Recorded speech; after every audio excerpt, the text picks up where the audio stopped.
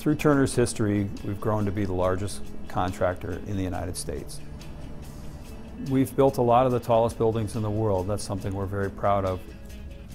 Turner's founded on teamwork, integrity, and commitment. And I think you really see that in the individuals that we work with. That's why I like coming to work every day. That's why I chose to work at Turner 10 years ago. And I think our clients see that from us, which is why we've got a lot of repeat business and a lot of repeat customers. We don't want surprises on a construction project. If you have a surprise, normally it means a schedule delay and a cost delay. So we're trying to build digitally first, and we're really trying to look for issues as part of our process before we get out into the field, and it costs a lot more money and, and schedule delays and everything like that.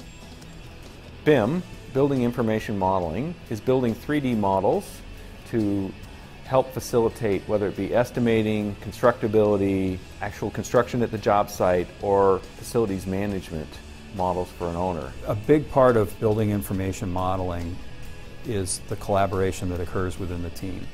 This collaboration is allowed to occur because of smart technologies and because of the software. When people walk into the iRoom, they kind of know that they're coming to a collaboration session. Whether that's collaborating in the same room by standing up in front of the room and marking up a smartboard, marking up our BIM model um, from the smartboard, or it's uh, collaborating with someone 3,000 miles away across the country. You go into the BIM room to coordinate, to hold meetings, to collaborate with folks online via the Bridgit server, and really just have a collaborative way of interacting with the project team.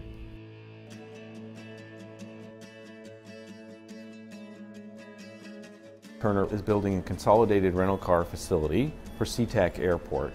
The ceiling of the rental car facility, where the desks are, is shaped like a boat. And for the subcontractors to visualize where their work was going to fit in, there's skylights up in the ceiling, there is the fire protection lines, there's duct work, electrical, as well as some seismic restraints. People were having a hard time visualizing whether or not their work would actually fit into the ceiling. We had an issue with the metal framing and the diagonal braces, and then the limitation we had left with the uh, fire protection. We got down so tight with the smart boards that we actually figured out how to run the uh, fire protection in the studs themselves. It's up 30 feet in the air. Once you're up there, taking things apart, it's not easy. And you more than likely would change it, you'd have to go do it again and again. You could see it a lot easier on the 3D than you could after the fact. The rental car facility happened at the same time as there was a you know, downturn in the economy, and that project actually was at risk of being shut down completely. So for us to do some value engineering on the job, to give them the same kind of product at a savings, was a huge issue.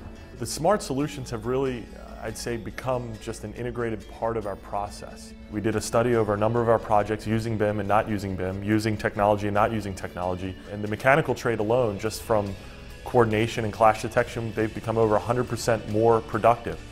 We really brace the innovation and the technology as a company, and bringing that to our buildings just helps us build better buildings because that's what we like to do.